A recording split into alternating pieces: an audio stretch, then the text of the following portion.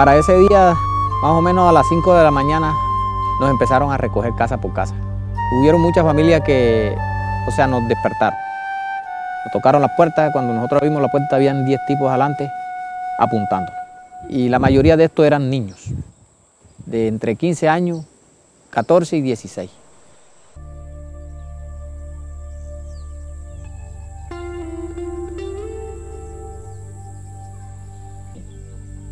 Yo soy hijo de Benito Luna. Mi papá fue la primera persona que pisó territorio Alto San Juan.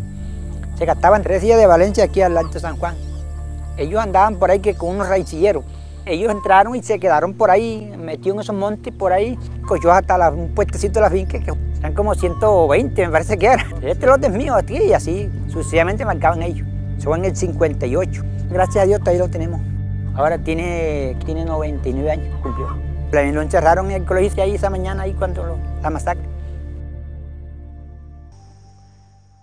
Yo fui el, el compañero de Ali Hernández cuando la masacre que hubo aquí en el Alto San Juan.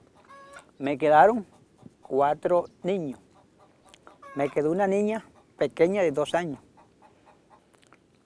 La sacaron de ahí de la casa y yo tuve la oportunidad de, de escaparme con el otro hijo. Ya quedó ella con el hijo y el viejo Veno, que fue los que quedaron con la niña. De ahí sucedió lo que se, se, la llevaron y luchamos y luchamos y cuando quisimos percatar ya en la noche oímos los tiros allá abajo y allá quedaron, quedó haciendo asesinar en la mañana, que fue que me avisaron a mí. Cuando nosotros percatamos, ya estaban los, los, dos papás y la mamá muerta. Que yo me quedé con la niña pequeña, se quedó el viejo Veno, que fue el que se quedó con la niñita mía.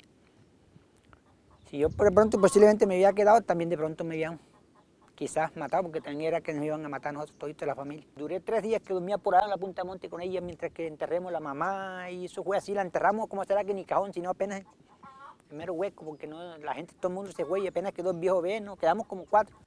Fue lo que le dimos sepultura lo demás. Y yo dormía por un retrojo con ella aquí en el pecho porque ella mamaba cena y eso era lucha con ella. Y se fue aquí en el San Juan del 8 de noviembre de 1995.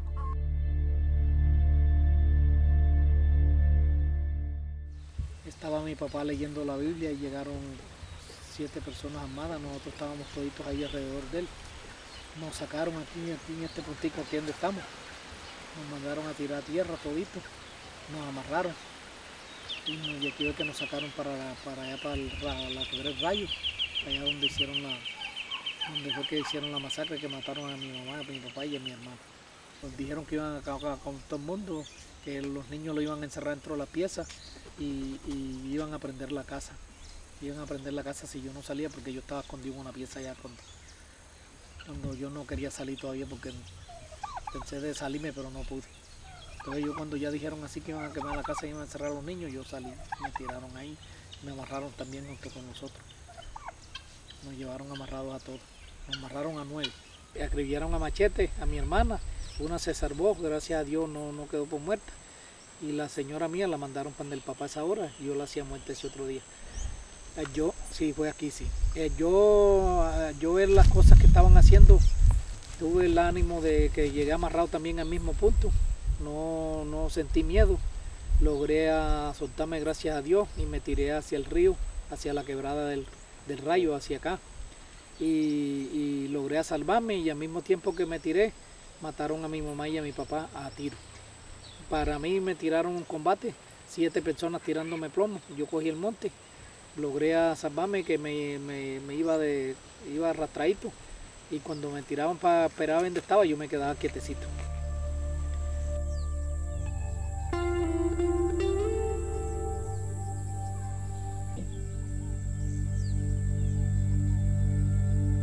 Estamos aquí en el sitio de los hechos de los masacres del día 25 de abril del 2001. Y fui una de las personas que estuve en, en estos hechos tan dolorosos. Ese día se metieron alrededor de unas 300, 400 personas armadas. Nos metieron a este salón y ahí masacraron un número de personas. Eh, mi casa estaba rodeada. y no pude salir. Me trataron mal, me estropeaban, me chuzaban con el fusil la costilla, me decían que si yo trabajaba con los parascos. Nos encerraron en el aula desde las 5 de la mañana. Ahí la señora Lucelis Miranda, en estado de gestación, ahí ese día sufrió un aborto, pues a causa de miedo de, de lo que estábamos viviendo ese día. Tratábamos de, mediar con esos señores que tan siquiera la atendieran a ella, que estaba nadando en la sangre y no fue posible. Esas personas no, no se conmovieron de eso que estaba pasando. Entonces es cuando de pronto llegan, se meten en la pieza, se llevan la ropa de mi familia, el mercado, poquito mercado que tenía, y comenzaron a hacerme daño, se comieron la, comida de mis hijos. En todo caso fue grande esto cuando de pronto me, me decían que si no me daba miedo, yo decía que no me daba miedo porque yo era campesino y yo no le debía nada a nadie. Entonces ellos me decían, usted no le da miedo que lo maten. Y yo decía, no, me da miedo, no, porque la verdad es que yo no le he hecho nada a nadie. Aunque ustedes tienen toda la oportunidad de matarme, pero, ajá, ¿qué podemos hacer si yo estoy desarmado? Pedíamos permiso para orinar, no lo concedían, orínense ahí si quieren. Esas eran las palabras que nos decían. De aquí la señora abortó, se le pidió el favor a ellos, no se dio. Aquí en este frente se le escuchaba a ellos por las comunicaciones que la orden que había era masacrar las 48 personas. Gracias a Dios hubo un hostigamiento con otro grupo y ellos salieron para, el hostigamiento que había. Lo que no sabemos con quién ellos peleaban, pero la orden que habían era matar las 48 personas que habíamos dentro del colegio. Ahí quedó encargado otra persona en el personal que estábamos ahí metidos en el colegio. Esa otra persona fue la que soltó el personal. Que cuando ya ellos venían, el, que, el hombre que estaba a cargo, que era el que quería hacer la masacre de todo el que estaba acá, se fue a pelear hacia abajo. Cuando regresó, ya habían soltado una parte de personal. Y ya a mí personalmente me habían soltado, pero yo me había escondido cerquita en el monte. Y escuchaba ahí tranquilamente cuando él le decía, ¿usted quién lo ordenó a soltar personal si era para matarlos a toditos? Eran por ahí las 7 de la mañana y comenzamos a ella me trataba mal, me insultaba, me, me echaba la viejita para afuera. Y sí, todo era malo, malo, todo lo que me decía. Cuando ya llegó a las 10 de la mañana y, y me dijeron, llegó un señor con una gafa y me dijo que él tenía un radio y ella tenía un radio, que por favor me dejara quieto, que yo era un campesino, y en verdad me dejaron quieto. En ese momento me dejaron quieto, el señor me decía que no fuera a huir, yo no, no me quedé, yo me quedé en la casa. Eh, cuando en eso hubo una balacera, eh, acá en la rula, y es cuando ya en la tarde, por ahí de 10 para adelante, 11, se sabe que hay una cantidad de muertos en la rula. A ver, un, un hecho que en la familia nos causó un dolor inmenso eh, porque era un hijo excelente, el cual en esos momentos la familia dependíamos de él. Y eso nos marcó en nuestra vida diaria eh, un trauma a mi esposa y a mis hijos pequeños en esos momentos. Pero a pesar de toda esta situación, siempre hemos confiado en Dios y hemos vivido con la esperanza de que solo Dios algún día nos dará la paz que necesitamos en nuestros corazones. Y lo estamos alcanzando porque en estos momentos le oro a Dios por mis restos de mis hijos, que me los guarde, que me los cuide, y por el resto de la familia que en ese momento padecieron lo mismo, igual que la mía, de que ojalá también reine la paz en sus corazones y que este hecho lamentable que sucedió en ese momento no vuelva a ocurrir en estas veredas. La muerte del difunto Santander. Ah, sí, a él lo cogieron a las 6 de la mañana, se lo llevaron para la rula con otros dos pelados y lo mataron allá al costado de un pastor que estaba por allá. Entonces también sufrió esta masacre, el hombre vea que dejó su familia, sus hijos, entonces también fue masacrado ese mismo día, el 25 de abril, por ahí a las 7 de la mañana más o menos lo mataron a él. Perdí todo lo que tenía en ese momento.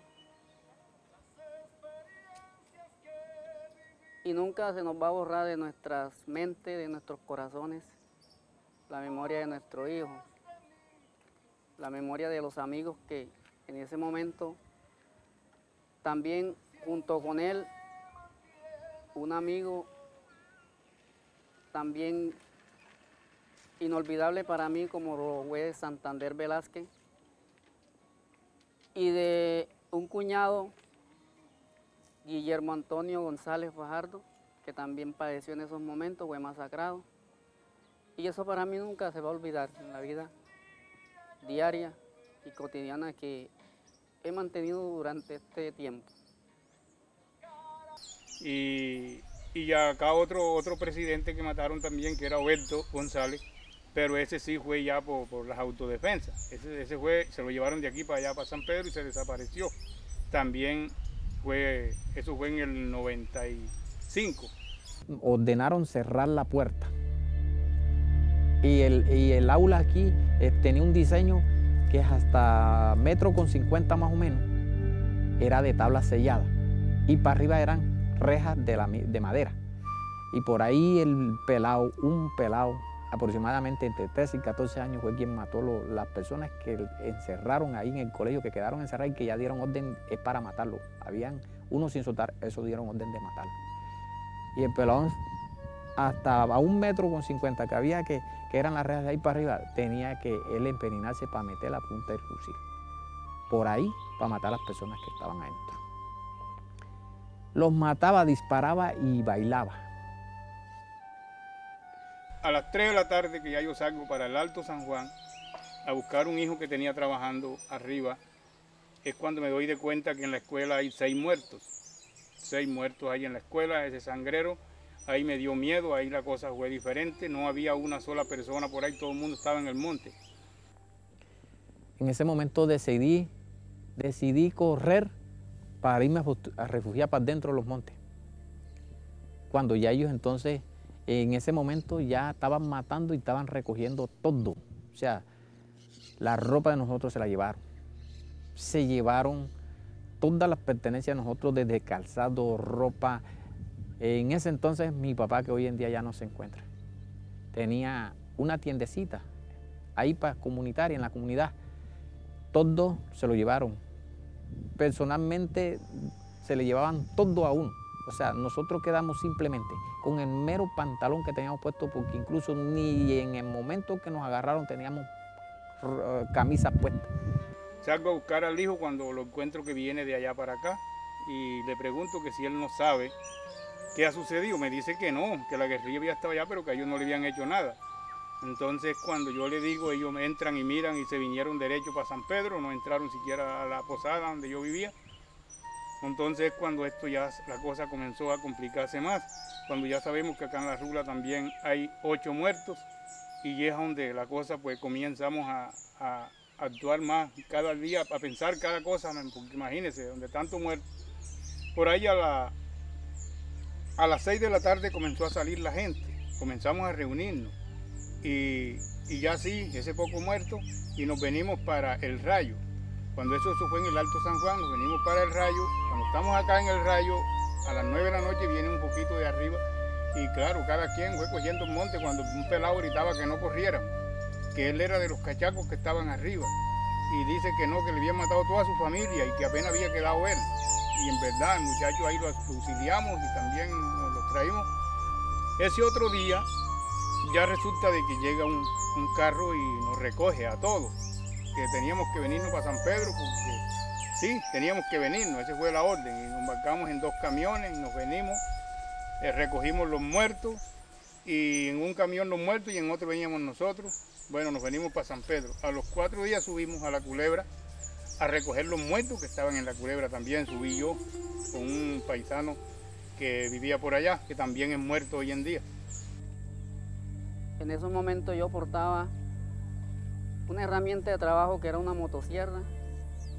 Mi hijo era el que estaba al frente de la motosierra con el motosierrista y mi cuñado era el, arriero de las mulas que sacaba la madera. Eh, a las 6 de la mañana mi cuñado salió con el primer viaje de madera y un grupo de personas armados llevaban al señor Santander Velázquez y él venía con las mulitas con el primer viaje de madera, lo hicieron descargar y lo voltearon para atrás con el señor que llevaban detenido. A las 9 de la mañana mi hijo salió a comprar una caja de fósforo a un negocito y también lo cogieron y se quedaron con él. A mi hijo y a mi cuñado con Santander Velázquez lo subieron a una loma que había al frente de la, de la escuela y por eso de las 9 de la mañana los acribillaron. A las 9 de la mañana, 9 y media, llegó la noticia a San Pedro Urabá, donde el cual residía. Y eso de las 11 de la mañana salí con un primo y ya los encontré tirados donde los habían acribillado. Eh, a pesar del dolor, el desespero, no tuve en cuenta de que si estaban todavía por ahí los criminales, yo llegué a donde estaban mis hijos, mi hijo, mi cuñado, mi amigo. Los miré, traté de llamar a mi hijo, pero mi primo no me colaboró y volteé para San Pedro con un dolor tan inmenso que no sabía si iba en la moto, iba a pie, pero gracias a Dios, Dios me acompañó, llegué hasta mi hogar. Y a eso de las 6, 5 de la tarde, eh, aportaron un carro, vinimos, los levantamos, llegamos a San Pedro. Entonces nosotros de aquí nos fuimos para el municipio de San Pedro de Urabá, huyéndole a la violencia.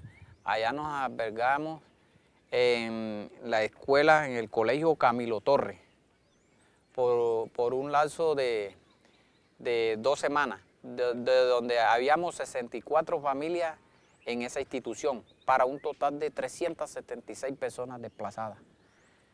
De ahí demoramos dos semanas y de ahí nos pasaron para el edificio Obra Pública, donde de ahí me tocó partir y no saber nada pues de los desplazados de ahí en adelante porque de ahí me tocó salirme para Córdoba a base de otros sucesos que me sucedieron por ahí como líder de los desplazados de, de aquí de la zona sur.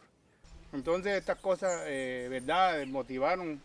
Hoy en día pues la gente no quería subir, pero sí, nos obligó otra vez y subimos otra vez nuevamente acá al rayo.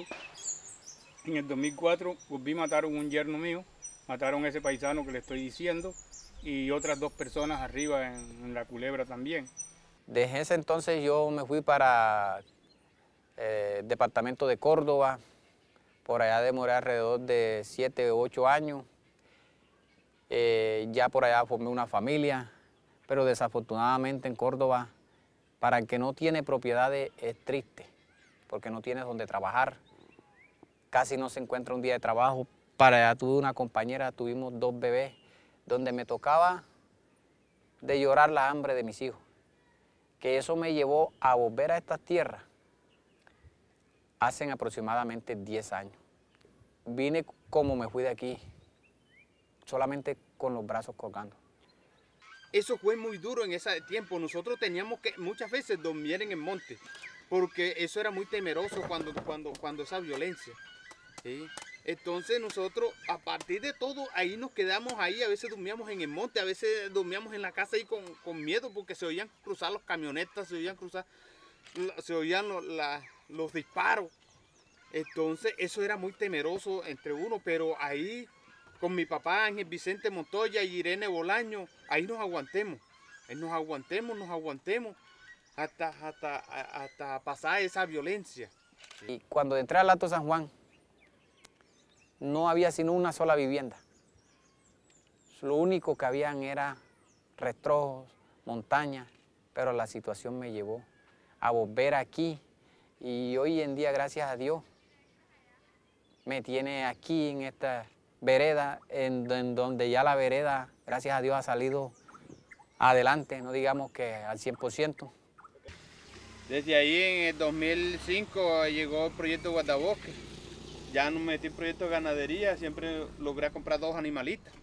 Ya hoy tengo unas 10 animales, 10 cabezas. Tengo unos dos mulos, un caballo. Y ahí vamos adelantando. Ese proyecto para mí no se ha acabado todavía. Entonces esto, hasta ahora esto ha sido algo doloroso que todavía nosotros hemos sufrido, pero al fin acá estamos, nuevamente acá estamos en, el rayo viviendo porque queremos salir adelante. Todo eso son dificultades que uno le llega a la familia.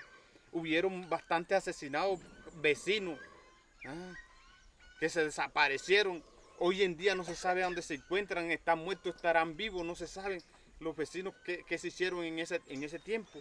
Entonces, esas dificultades logremos a pasarlas en nosotros, pero ahí estamos, hoy en día, cada día estamos avanzando.